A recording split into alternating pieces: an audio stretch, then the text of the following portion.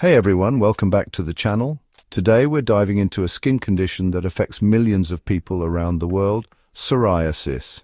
Whether you're living with it, know someone who is, or you're just curious, this video will give you everything you need to know. The prevalence, causes, symptoms, diagnosis, treatment, and prevention. Let's get into it. Psoriasis is a chronic autoimmune skin condition that affects about 2 to 3% of the global population. That's over 125 million people worldwide. It can appear at any age but often shows up between ages 15 and 35. It affects both men and women equally and can occur in all skin types, although it may appear differently on darker skin. Psoriasis happens when the immune system mistakenly attacks healthy skin cells, speeding up the skin cell production cycle. Normally, skin cells take weeks to mature and shed. In psoriasis, this happens in just a few days. But why does this happen? There's no single cause, but here are some common triggers and risk factors genetics. It often runs in families, infections like strep throat, stress, which can worsen flare-ups, cold weather, especially dry air, smoking and alcohol, both increase risk, and certain medications like beta blockers or lithium.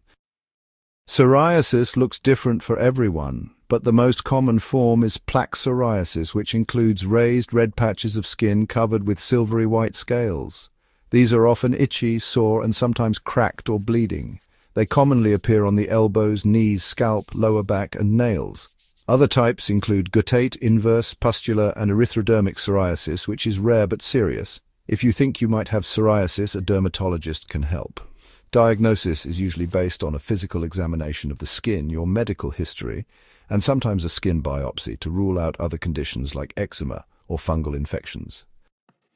So there's no cure just yet for psoriasis, but there are, you know, some really effective treatments that can help manage the symptoms and prevent those flare-ups.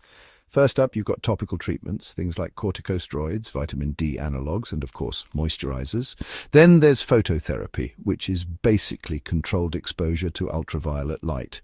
Next, systemic medications. These are pills or injections that work throughout the body, including biologics, which actually target specific parts of the immune system. And finally, lifestyle changes, a healthy diet, reducing stress, and avoiding triggers like alcohol and smoking can really make a big difference.